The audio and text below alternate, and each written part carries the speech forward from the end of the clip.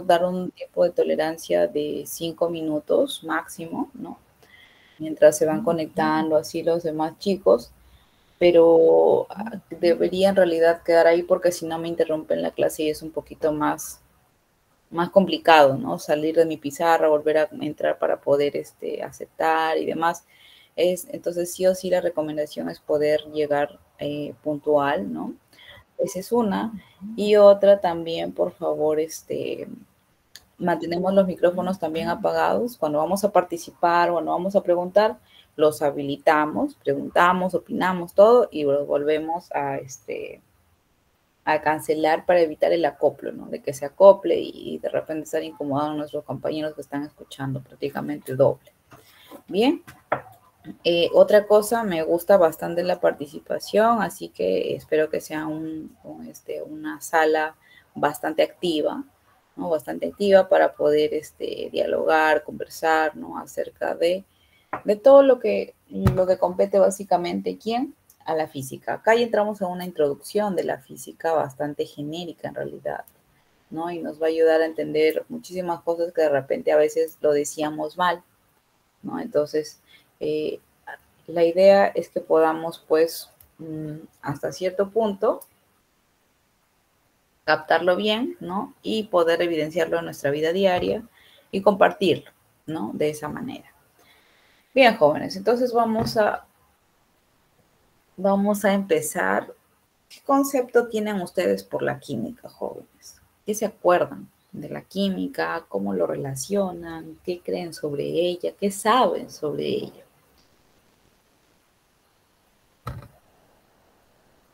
Van a tener un minutito, chicos, un par de minutitos para que piensen en su respuesta. Es más, pueden buscar información también, no hay problema. ¿No? ¿Para qué? Para poder este, hablar al respecto, ¿no?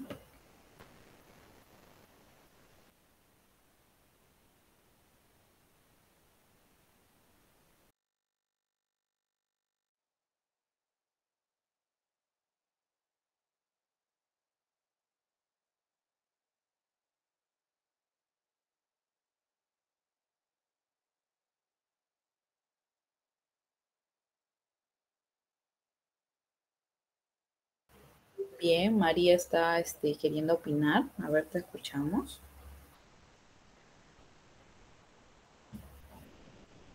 María.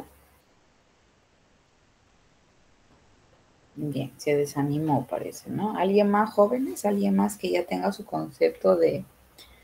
este... La química es la ciencia que estudia la materia, la energía y sus cambios.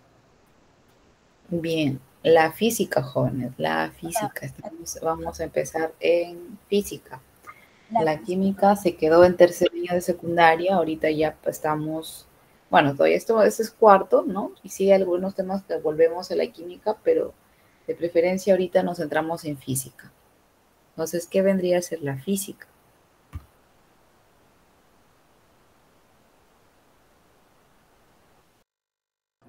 Es la ciencia natural, que es la ciencia que estudia la naturaleza, los componentes o fenómenos fundamentales del universo. Algo así, no me acuerdo muy bien. Es, la ciencia natural que estudia la naturaleza de los componentes fenómenos. Bien, sí, por ahí va, por ahí va. Bien, ¿alguien más que quiera participar, jóvenes? Señorita, disculpe, ¿puede repetir la pregunta, por favor? ¿Qué es la física?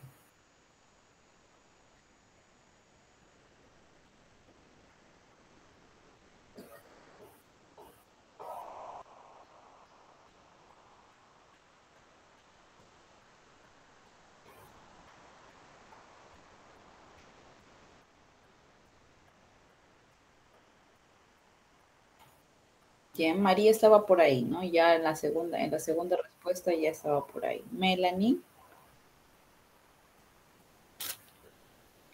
Eh, bueno, que la física es eh, la ciencia que estudia sobre los fenómenos de la naturaleza. Bien, excelente, ¿no? Estudia los fenómenos de la naturaleza. Estudia ¿Puedo? a ver, Maribel, te escuchamos. Eh, es la ciencia que estudia las propiedades de la materia y de la energía que establece las leyes que explican los fenómenos. Bien, las propiedades, exacto. Bien, gracias Maribel. Sí, justamente uniendo ya estos conceptos, ¿no? Estos conceptos que han, han brindado sus compañeras, ya podemos hablar de un concepto más establecido de la física, ¿no? ¿Cómo que? Como que finalmente es una, una ciencia la cual básicamente eh, va a estudiar los fenómenos de la naturaleza, ¿cierto? Los fenómenos físicos y eh, las propiedades, ojo, externas de la química, ¿no? Perdón, externas de la materia, ¿no? Esa es la, idea. Bien, jóvenes, entonces vamos a continuar. Tenemos aquí, ¿no? De aquí están los, los conceptos. Uno de ellos que dice, física es que la ciencia que estudia los fenómenos de la naturaleza y elabora leyes generales sobre su comportamiento y evolución a través del tiempo, ¿no? Entonces, ¿qué es? Nos dice la ciencia que estudia los fenómenos de la naturaleza y elabora leyes generales sobre su comportamiento y evolución a través del tiempo. La Tierra constantemente está en evolución, ¿cierto? La materia del mismo modo. Entonces, sí o sí, sí o sí lo que nosotros tenemos que percatarnos es de mm. darnos cuenta, mejor dicho, si en este caso, eh, por ejemplo, de un movimiento simple y sencillo que se pueda dar, también estamos hablando de física. ¿Qué creen? ¿Qué creen ustedes? Si hablamos de movimiento, ¿estaremos hablando de física?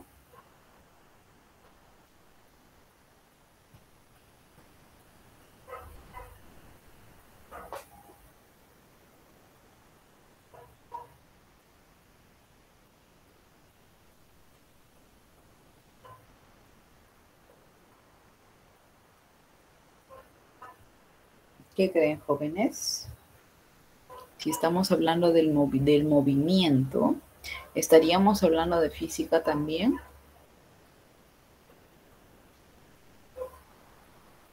Sí, señorita.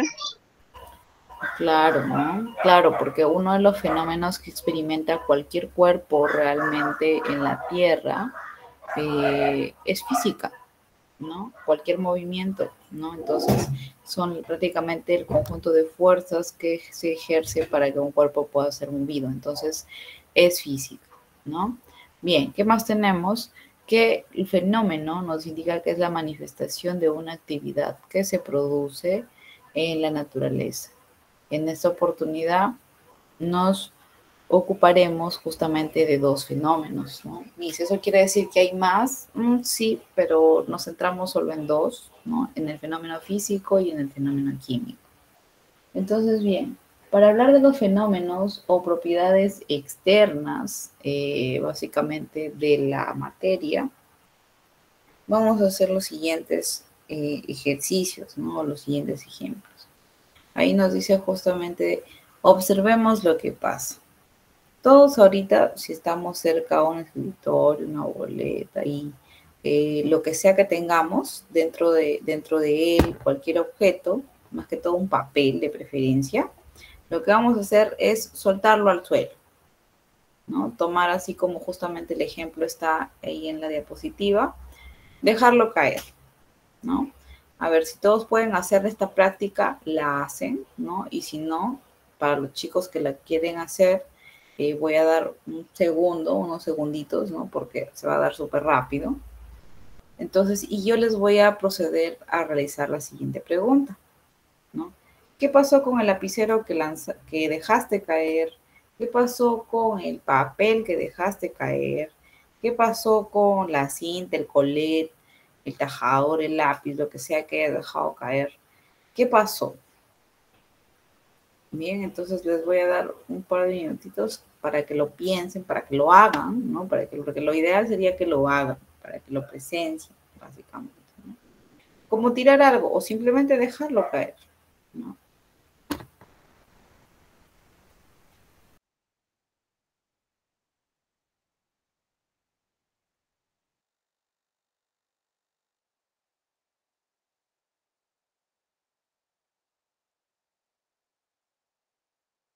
Bien, jóvenes, realizaron el experimento. Me comentan, por favor, qué ha pasado, cómo ha pasado. Bien, María. Mi buenos días. Eh, mi nombre es Lady Avellaneda. Lo que pasa es que tuve que entrar con el de mi hija, porque mi hija no abrió, el mío no me quiso abrir. Ajá, mm. hice el experimento. Con la hoja, al ir cayendo, se va moviendo de lado a lado y es como más lenta la caída. Lancé un lapicero, va en forma vertical y va. Bien, excelente. Sí, excelente. Bien, su compañera, por ejemplo, los, lo ha evidenciado, o mejor dicho, ha expresado qué ha pasado con su experimento. Entonces, hasta cierto punto, no se afectó la naturaleza química de este, de este producto, ¿cierto? O se ha afectado la naturaleza química.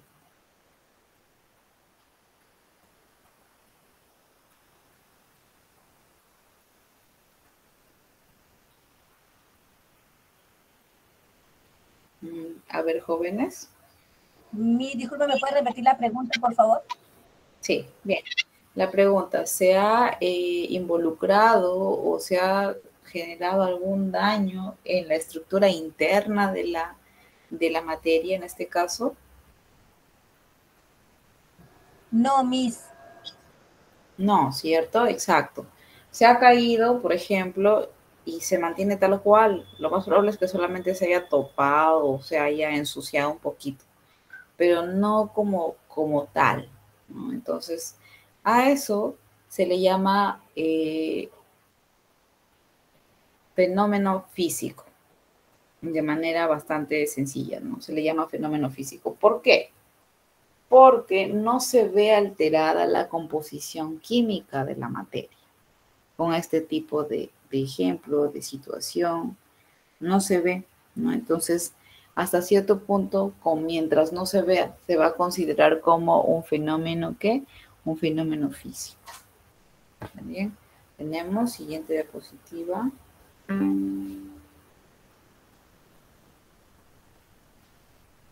Segunda experiencia, quemar el papel. Esta no, le voy no les voy a pedir que lo hagan porque ya lo deben haber hecho en algún momento de su vida. Quemar el papel. ¿Será un fenómeno físico o un fenómeno químico? ¿Qué creen?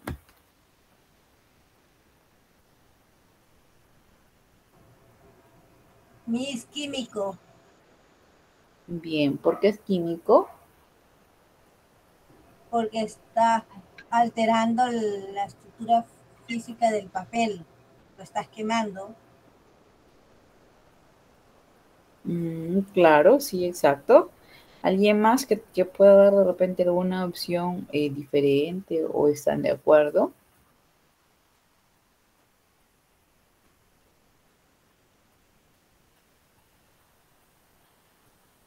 Bien, bien jóvenes, nos quedamos con eso, está bien. ¿Qué pasa con el fenómeno físico? Haga lo que haga, va a seguir manteniendo su forma y sus características generales. Por ejemplo, yo lanzo un papel ahorita al suelo y el papel sigue siendo papel. Yo puedo lanzar mi libro al suelo y mi libro va a seguir siendo mi libro, tal cual. Bien. Sin embargo, ¿qué pasa si yo le prendo fuego a mi libro? ¿Podré en algún momento remotamente recuperar mi libro? No, ¿cierto? Va a ser imposible. Claro, va a ser imposible poder recuperar ese cuaderno. Ya, o sea, ya fue. Entonces, ¿por qué? ¿Por qué ya fue? porque dejó de existir como libro, ¿no? Yo lo quemé y dejó de existir como libro. Entonces, es por eso que deja de ser ya un, fenómeno físico y pasa a ser un fenómeno químico. ¿Por qué? Porque está perdiendo la naturaleza íntima de ese, de ese, de esa materia, de ese producto. Bien, entonces, sí o sí, se mantiene así de esta manera, ¿no? Eh, los fenómenos son todo cambio transformación que va a ocurrir en la naturaleza. Y la verdad es que considera esa naturaleza a todo, ¿no? A todo y todos. Ahora, ¿qué más? Fenómeno físico es aquel que no se altera la composición química del cuerpo. Es la que estudia el curso de la física, básicamente, ¿no? No se altera la composición química del cuerpo. Si yo tiro mi libro al piso, va a seguir siendo mi libro. No va a pasar absolutamente nada. Bien, y bueno, se polverá, se golpeará, pues, ¿no? Nada más. Y después eh, paso a qué? Al fenómeno químico. En este caso es aquel que sí cambia la composición química, originando que nuevas sustancias con propiedades diferentes al cuerpo inicial. Por ejemplo, si yo quemo un papel, obviamente quedan cenizas, ¿cierto? Obviamente. Pero muchas de esas cenizas a veces, por lo menos en la ciudad, ¿no? ¿A dónde llegan a parar? Están, mientras el papel se está quemando, van saliendo las, las, este, van saliendo las cenizas, van flotando con el aire. ¿no? Muchas de esas cenizas llegarán pues, a las fosas nasales de algunos, de algunos transeúntes de la zona. ¿no? Sin embargo, eh, ¿qué pasará con estas particulitas que van a estar en el aire? Tú no las puedes ver porque son demasiado pequeñas ¿no? a la vista humana. Entonces van a estar flotando en el aire. Muchos, como lo vuelvo a repetir, se ingresará por las fosas nasales de algún transeúnte por cuestión del, del aire, ¿no? Y muchas otras en algún momento llegarán a parar a dónde? Al suelo. Pero en este caso, ¿a qué suelo? ¿Al cemento, a la pista? Sí, también, ¿no? Hay una posibilidad. Pero puede llegar a parar este material justamente a las plantas, al suelo de las plantas. Finalmente, si nos damos cuenta, las plantas absorben todos los nutrientes que éste tiene para que para nutrirse y justamente darnos nuevamente cantidad de oxígeno. Entonces, en este caso sí se podría hablar, por ejemplo, de una eh, de un fenómeno de un fenómeno químico, ¿no? ¿Por qué? Porque se va a transformar. Estas particulitas llegan a ser parte del suelo, la planta lo absorbe como nutrientes y va a transformar y me va a dar como producto qué? Me va a dar como producto oxígeno, ¿cierto? Entonces, está transformando básicamente, pero ojo, de manera íntima la materia, porque esa ceniza jamás de los jamases de los jamases va a ser, va a volver a ser papel, ¿no? Va a volver a ser el papel que tú quemaste, ¿no? ya no va a ser, ¿no? Lo más probable es que, como te digo, o como les digo, ¿no? Este, la planta lo tome como nutrientes, lo exprese como oxígeno, y bueno, finalmente si era un árbol fuerte, eh, grande y demás, ¿no? Lo que menos, eh, lo que se puede lograr quizá es que ese árbol lo talen, ¿para qué? Para producir más papel, ¿no? Es una, es una gran posibilidad. Entonces, el fenómeno físico nos quedamos con que no altera la composición química del cuerpo, mientras que el fenómeno químico sí. ¿No? Ejemplos.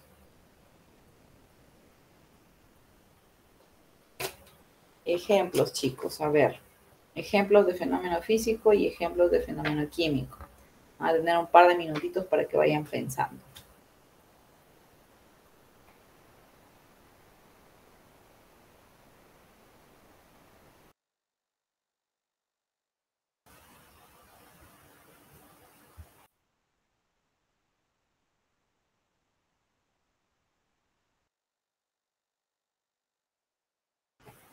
Bien, chicos, algún voluntario que quiera expresar sus ejemplos de fenómeno físico o químico.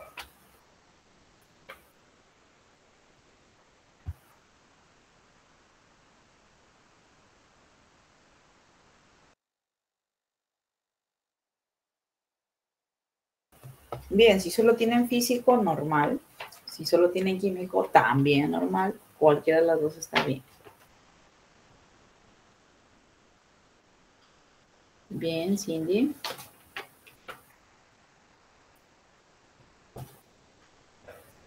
Cindy, has levantado la mano.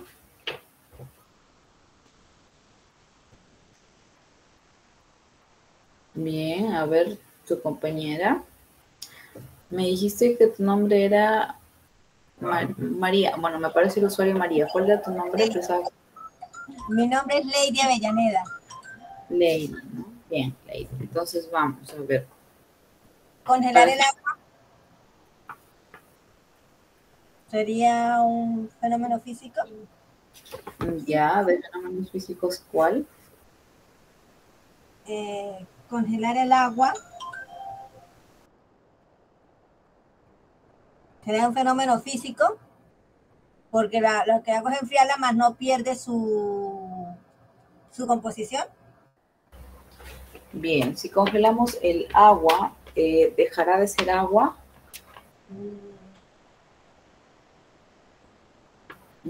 Como tal, ¿qué creen? A ver, chicos. No, porque, o sea, digo que no porque lo que se forma es hielo, pero al descongelarse vuelve a seguir siendo agua. Exacto, ¿no? Entonces no podría contar como fenómeno químico, pero sí como fenómeno físico, ¿no? ¿Por qué? Porque le estoy cambiando prácticamente de qué? De forma, ¿no? De forma o estado. Bien, ¿algún otro ejemplo, chicos?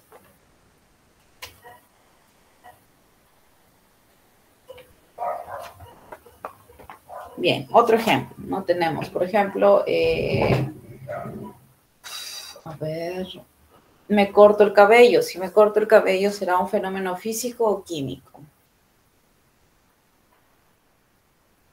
Fenómeno, fenómeno físico.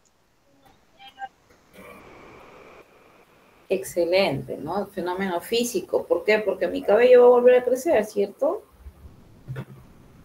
Va a volver a crecer. Claro, va a volver a crecer y, y normal, no hay problema. Entonces, sí o sí se considera un fenómeno físico, ¿no? Porque mi cabello sigue siendo mi mismo cabello igual. Bien. Sin embargo, ¿qué pasaría si yo lo tinturo, mi cabello?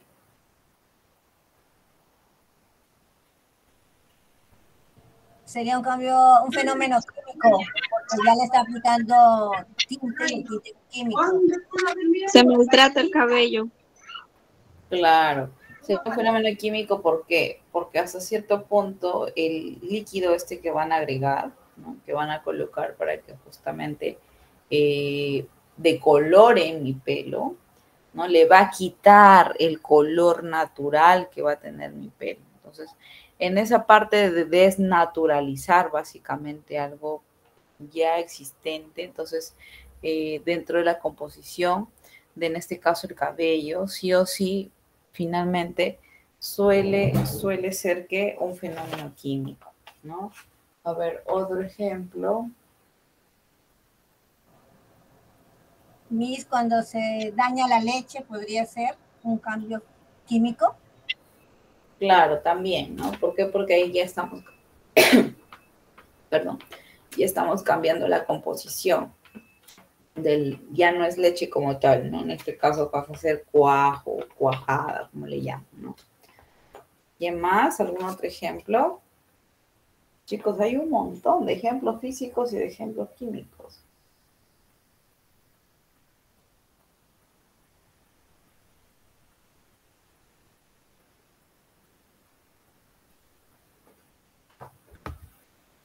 Bien. Entonces se van a poner a pensar, ¿no? Y van a poder recopilar por ahí más ejemplos. Continuamos. Eh, nosotros para hablar justamente de, de algún tipo de desarrollo físico como tal, necesitamos en primer lugar saber qué, saber magnitudes, ¿no? Porque esa es una propiedad general, ojo, ¿de quién? De la materia, ¿no? Saber magnitudes, ¿por qué? ¿De qué me va a servir las magnitudes? ¿Alguno de ustedes ha usado magnitudes?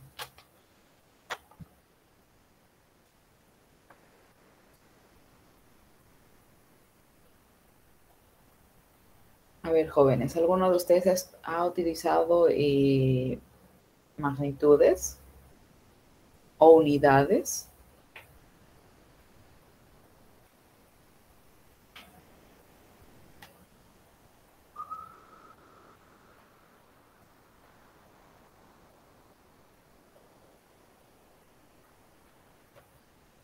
A ver, jóvenes, ¿alguno de ustedes ha utilizado magnitudes o unidades? La de medir, por ejemplo, cuando estamos midiendo un terreno o medir un vestido o medir una ropa o si nos pesamos. ¿A eso se refiere, Miss? Exacto. Sí, exacto, ¿no? ¿Por qué? Porque nosotros vamos a... ¿Qué es una magnitud? La magnitud vendría a ser todo lo que tiene la capacidad de ser medido, Entonces, prácticamente yo puedo estar este, de repente fácilmente, como me dijo su compañera, medir en primer lugar la estatura, por ejemplo. ¿no? ¿Qué más, qué más tenemos? Eh, medir justamente de repente el tamaño de mi cama para yo saber cuánto mide y de acuerdo a eso poder comprarle un buen edredón. ¿no? ¿Qué más puedo este, medir? Eh, o puedo ver mi peso, justamente como nos decía su compañera, ¿no? Entonces, hay muchísimas este, oportunidades en las cuales nosotros hemos utilizado las magnitudes. Las usamos a diario, pero difícilmente nos damos cuenta. Entonces, sí o sí, sí o sí, todos hemos medido en nuestra Para preparar jugos, teteros. Claro. Comprarle los zapatos a los niños. Exacto. Todo, todo entra magnitudes y medidas. Exacto. Entra, todo, en todo magnitud y, unidades. Bien, tenemos a la medida. ¿Qué es la medida? Todo fenómeno eh, físico, perdón, es examinado por nuestros sentidos, que nos dan la primera información, a veces no la correcta.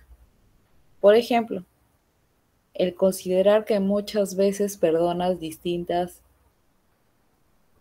perciben sensaciones diferentes al tocar a un cuerpo que está a temperatura fija. Es preciso disponer del, termómetro para conocer de manera real y objetiva la temperatura de un cuerpo. Eso es cierto.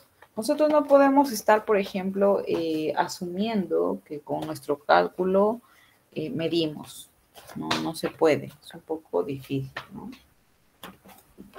Porque justamente, por ejemplo, una vez tenía una alumna que me dice, Miss, creo que tengo fiebre, tóqueme, ¿no? Entonces yo me fui a tocarle la frente, ¿no? Que es un clásico prácticamente, la verdad no sé exactamente para qué sirve ni cómo es, porque igual tampoco sé la sensación térmica, ¿no? Entonces, mm, bueno, le dije, en realidad sí, este, sí necesitáramos examinarte un poquito mejor, te pondría un termómetro, un termómetro diferente, pues, ¿no? Para saber cuánto tienes de fiebre. En primer lugar, saber si tienes fiebre y en segundo lugar, cuánto tienes de fiebre. Entonces, eso es una manera correcta, utilizando qué? Utilizando el instrumento como tal, ¿no? Dentro de, dentro justamente de las magnitudes, ¿no? Cuán eh, extraordinario es utilizar el instrumento que se necesita para medir. Bien, jóvenes.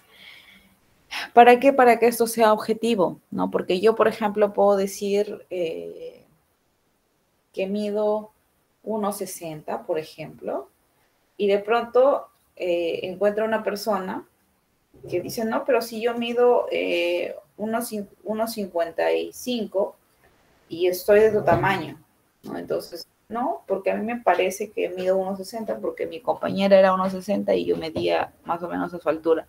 No puedo yo guiarme de ese tipo de cosas para dar ese tipo de información. Necesariamente yo tengo que medirme con un instrumento como tal. ¿Qué más tenemos? ¿Qué es medir? Bueno, en este caso nos indica que en nuestra vida diaria el concepto de medir nos resulta bastante familiar. Claro que sí, porque todos hemos medido, todos, ¿no? Porque todos hemos medido alguna vez. Ahora, hemos, hemos medido nuestra estatura con otro compañero, la velocidad de la carrera, el tiempo, eh, el tiempo que nos lleva prácticamente a realizar un trabajo, y la cantidad de agua que cabe, por ejemplo, en una botella, la temperatura de nuestro cuerpo, etcétera, ¿no? Entonces, todo eso básicamente significa, que medir, ¿no? Entonces, eso es lo que hay que tener en cuenta, jóvenes. ¿Por qué? Porque no podemos nosotros así nada más eh, poder creer que estamos midiendo, ¿no? Pero este concepto ya sabemos que lo vemos a diario. Entonces, jóvenes, tienen que ir eh, analizando ustedes su información eh, basada, o mejor dicho, teniendo la información y poder eh, recurriendo realmente a lo que nosotros tengamos que hacer para dar una información real y fidedigna, ¿no? Bien, continuamos.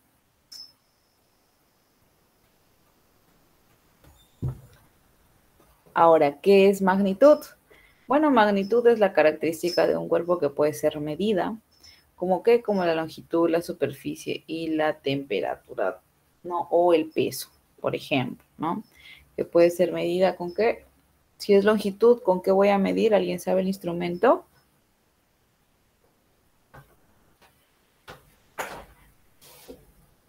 El metro, Miss.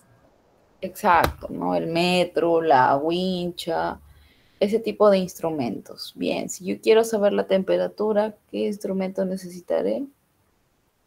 Termómetro, Miss. Exacto, termómetro. Y si hablamos de peso, por ejemplo. La balanza. La balanza, ¿cierto? Excelente. Entonces, o sea, sí o sí existen para cada cosa realmente eh, su instrumento, ¿no? Para que no haya excusa de decir, no, es que yo le toqué y yo no sabía que era fiebre, por ejemplo, ¿no? No, me aseguro mejor con un termómetro. Bien, ahora vamos a tener una clasificación dentro de magnitudes. ¿De qué se trata esta clasificación? Bueno, vamos a empezar, ¿por qué? Por las magnitudes escalares, ¿bien? Las magnitudes escalares dice son aquellas que quedan perfectamente determinadas por un número de, no, por un número. Por ejemplo, la temperatura. Si decimos que, es un, que el día de hoy, por ejemplo, estamos a 25 grados, no necesitamos saber más sobre temperatura. ¿Cierto? Ahora, eh, por ejemplo, si me piden la longitud, la longitud, el volumen, la masa, el tiempo de algún otro elemento, eh, ¿podré yo discutirle en este caso? ¿Qué creen? A estas medidas, ¿podré discutirles?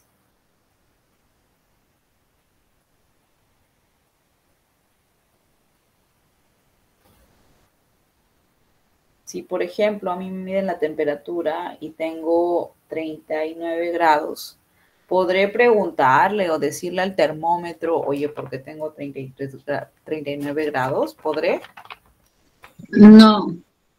No, ¿cierto? Entonces, las magnitudes escalares básicamente son irrefutables, es decir, no les puedes consultar ni decir nada, bien, porque se van a ser tal cuales. Por ejemplo, este, ¿qué más tenemos? La longitud ya hablamos, la temperatura también. Mm.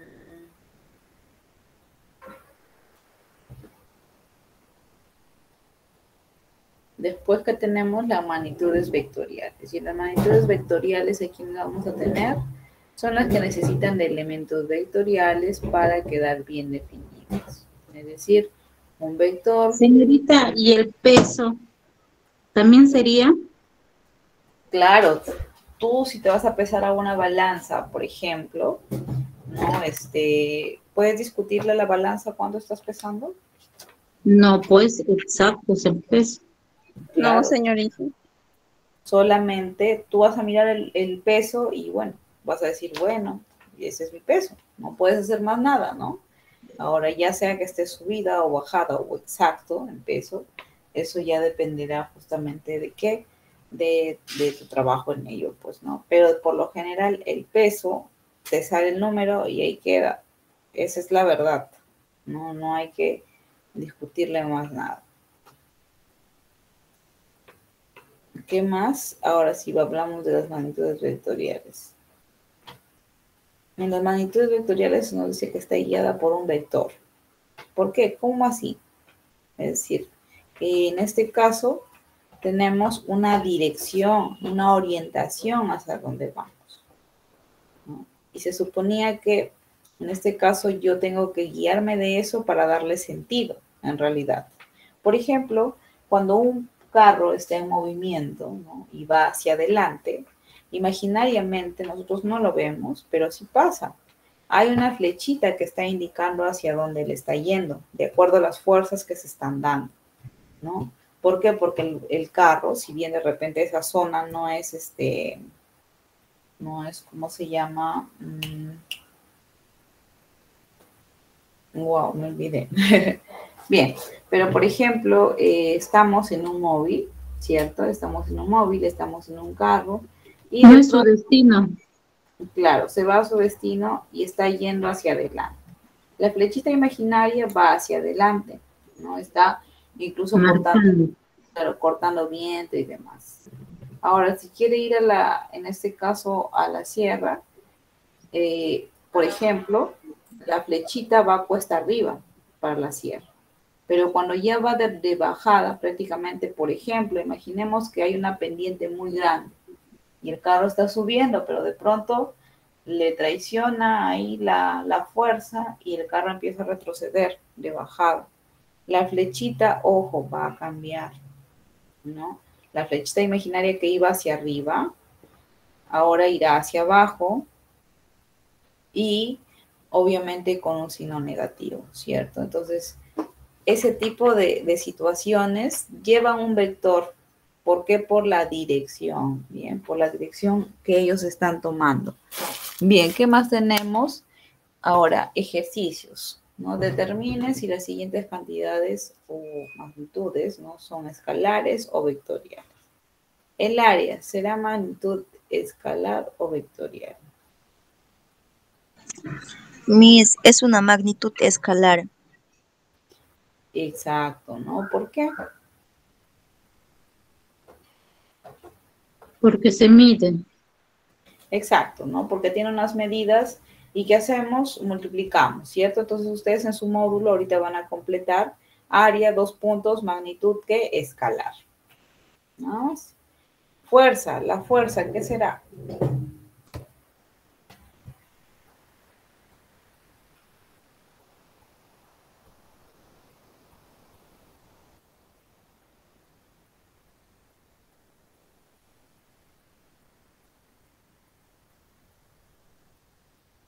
Bien, jóvenes, la fuerza, ¿qué magnitud será?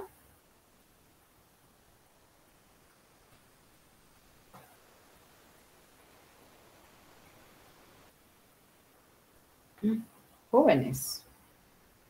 Miss, la fuerza es una magnitud vectorial. Vectorial. ¿Por qué? A ver, ¿por qué, ¿por qué es vectorial? Pregunta para todos, jóvenes.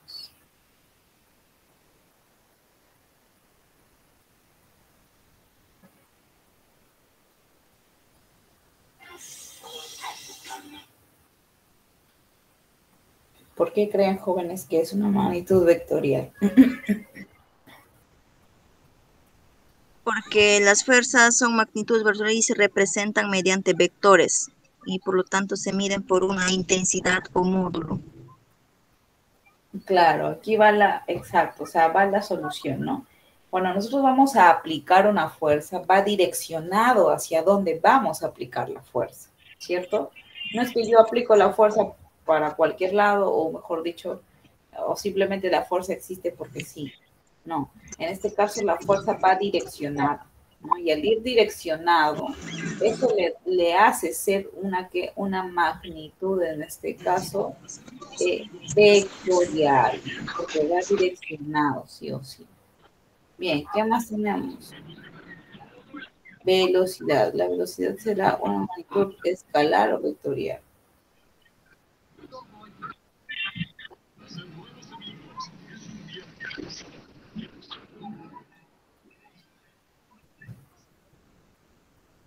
¿Qué creen jóvenes? ¿La velocidad será escalar o vectorial?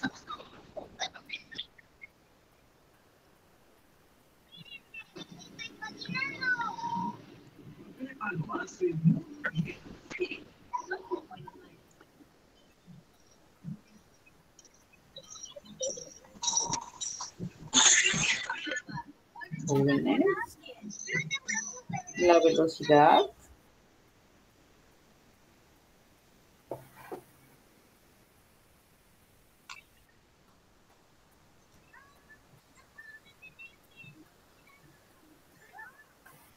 En este caso, la velocidad también se considera una magnitud vectorial, porque también para que tú apliques la velocidad, necesitas una dirección, ¿no? Necesitas una orientación hacia dónde ir, hacia dónde tú vas a requerir la velocidad necesaria para que puedas o avanzar o correr, etcétera, ¿no?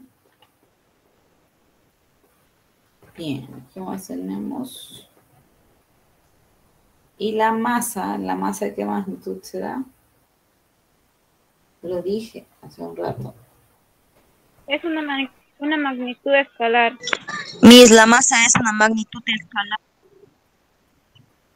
Exacto, ¿no? En este caso tenemos una magnitud escalar, escalar. ¿Por qué?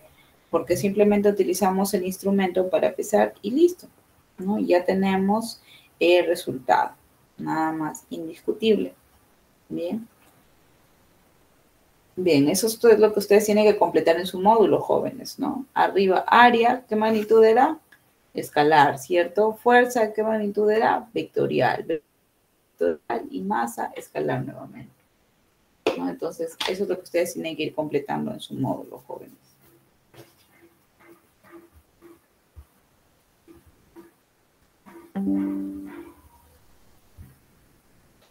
Bien, ahora tenemos otro tipo de clasificación. En esta clasificación tenemos a las fundamentales y vamos a tener aquí también a las derivadas, ¿no? Fundamentales y derivadas. ¿De qué se trata? ¿Cuáles son? ¿Cómo son? Aquí vamos a ver. Tenemos que las magnitudes fundamentales son magnitudes que es aquellas magnitudes físicas que gracias a su combinación dan origen a las magnitudes derivadas. Tres de las magnitudes fundamentales son la masa, la longitud y el tiempo. Tendrían que ser esas las únicas, eh, las únicas magnitudes fundamentales y ellas en fusión van a dar origen a las demás, ¿no? Solamente esas tres. Y en el cuadrito podemos observarlo. Tenemos magnitud, longitud, dimensión L, unidad metro y símbolo M minúscula. Entonces, eh, ya tenemos, por ejemplo, esa información. Me estaba consultando acerca justamente también de este tema, al interno, ¿no? Esa es la tablita que nosotros tenemos que utilizar para desarrollar el examen. Bien, solo es cuestión, ojo, de reemplazar que la dimensión. En primer lugar, la dimensión, ¿no? Entonces, la dimensión yo me lo tengo que aprender. Claro que sí te lo tienes que aprender, ¿no? Sí o sí porque eso te va a ayudar un montón. Bien, ¿qué más tenemos? Pasamos a la siguiente.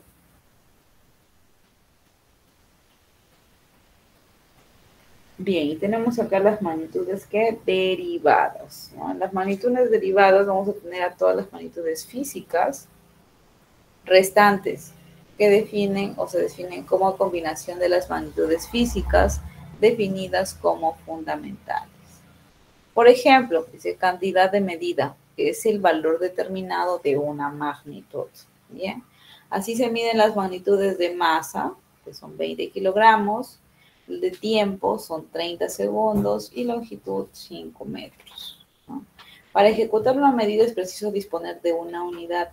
¿Qué tipo de unidad? Una unidad patrón básicamente. ¿Y de qué se encarga esta unidad patrón? Que aquí en la China y donde sea que vaya, siempre va a pesar o medir lo mismo.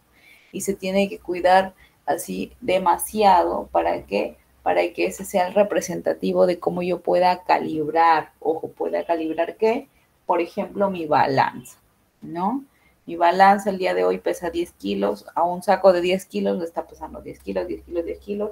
Pasa un mes, y de pronto esa balanza ya le está pesando 9 kilos y medio, 9,800, 10 con 100 gramos, eh, o sea, de esa manera. Entonces, eh, ¿qué está pasando? Pues, ¿no? Sí o sí, nosotros tenemos que tener cuidado con estas unidades patrón. Estas unidades patrón nos dicen cuánto es un peso como tal, cuánto es una medida como tal.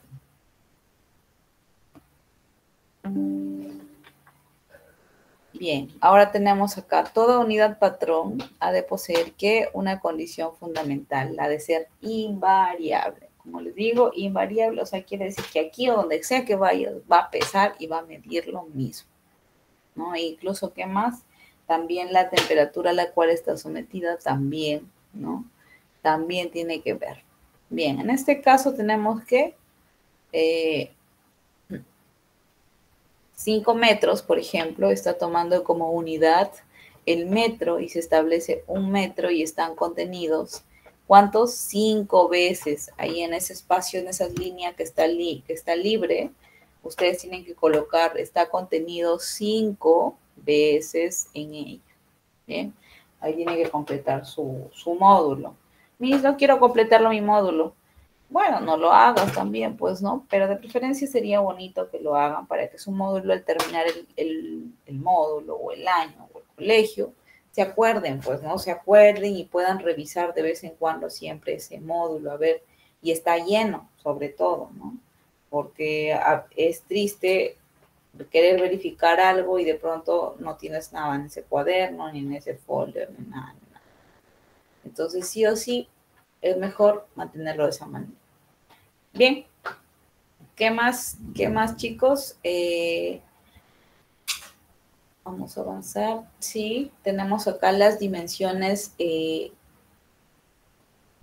derivadas, básicamente, ¿no? Y dentro de estas derivadas vamos a tener aquí área, volumen, densidad, velocidad. Les apuesto que de todas estas, la mayoría lo conoce, ¿cierto? ¿Cierto que conocen estas magnitudes? o todavía no han la oportunidad de conocer ninguna de estas magnitudes.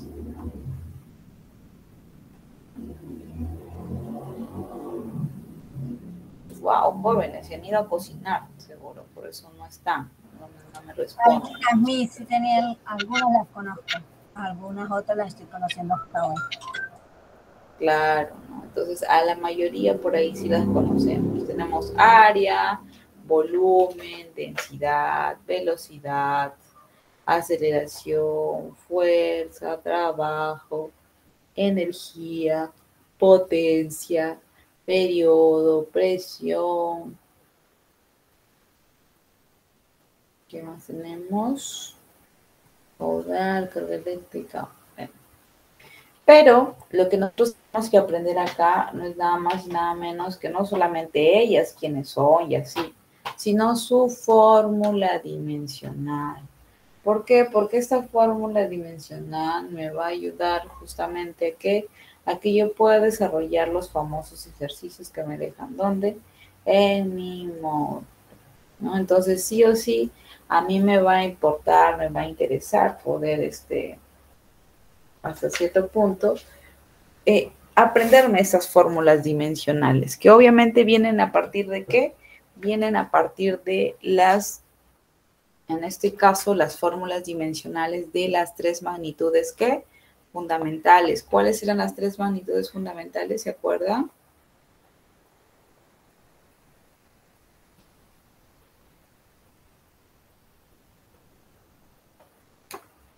Jóvenes, lo hemos pasado en el cuadrito anterior. ¿Cuántas son en primer lugar? A ver, ¿cuántas magnitudes fundamentales son?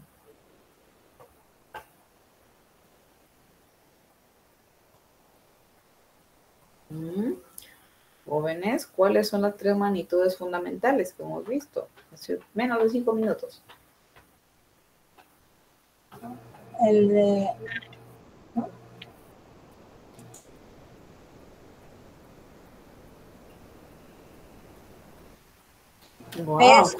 Peso, temperatura, fuerza. Bien, son tres jóvenes, son tres las magnitudes fundamentales, nada más. ¿Cuáles son? Longitud, masa y tiempo. Longitud, masa y tiempo. Nada más, nada más, son las tres fundamentales. Las de acá, no, de temperatura para abajo no me interesan. la longitud, la masa y el tiempo. Exacto, longitud más el tiempo. Desde temperatura para abajo a mí no no me importa. Pero de tiempo para arriba, o sea, esas tres, son magnitudes fundamentales, es decir, las otras van a salir de ellas. Entonces, ¿qué es lo más importante que yo tengo que saberme por lo menos? Son las magnitudes fundamentales, pues, ¿no? ¿Y cuál es qué? Su dimensión o su fórmula dimensional. Si tanto eh, no se ha logrado, por ejemplo, identificar ciertas cosas, eh, nosotros utilizamos este tipo de magnitudes, de dimensiones para desarrollarlo. Bien, continuamos.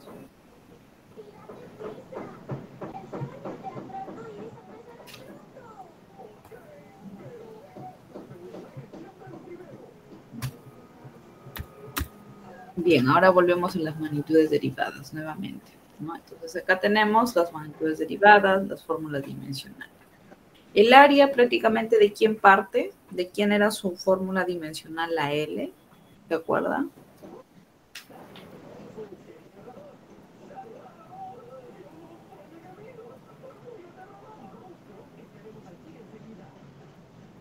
¿Mm? ¿Cuál es la, la, magnitud fundamental que le da origen al área? Longitud, mis. Exacto, longitud. Bien. Ahora, a densidad, ¿quién está dando origen? Masa. Eh, ¿Solamente masa? Longitud también. Claro, cierto, también tiene que haber longitud. Mm. ¿Qué más? A ver, tenemos velocidad.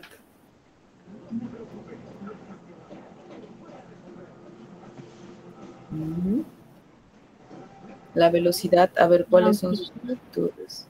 Longitud y tiempo. Exacto, ¿no? Longitud y tiempo. ¿Qué más? A ver, tenemos mm, trabajo. A ver, trabajo. ¿Quiénes están involucradas ahí? Masa, longitud y tiempo. Exacto, ¿no? Entonces, si se dan cuenta, sí o sí les dan origen, ¿no? Entonces, esta tablita y la anterior, jóvenes, ya les ayudan a ustedes a poder que desarrollar su evaluación. ¿bien? Esta y la siguiente tablita. Y ustedes ya pueden desarrollar sin problema su evaluación porque es netamente matemático. Pero yo no sé, no entiendo. No se preocupen, igual a lo largo de la, de la, del módulo lo vamos a ver. Lo vamos a ver, lo vamos a trabajar. Bien, chicos, nos quedaríamos ahí básicamente, ¿no? Quería saber si es que de repente tienen algún tipo de consulta al respecto, eh, no se ha nada, si ha sido de esa manera, bueno, vamos a reforzar. Si tenido alguna pregunta, entonces es mejor que la también, ahorita ya, ya no la hagan, pero cuando nos